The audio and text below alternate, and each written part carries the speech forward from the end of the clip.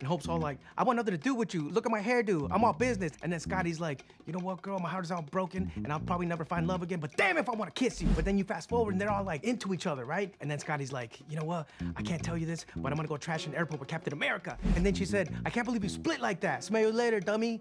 So Scotty goes on house arrest and he won't admit it, but his heart is all like, damn, I thought Hope could have been my new true partner, but I blew it.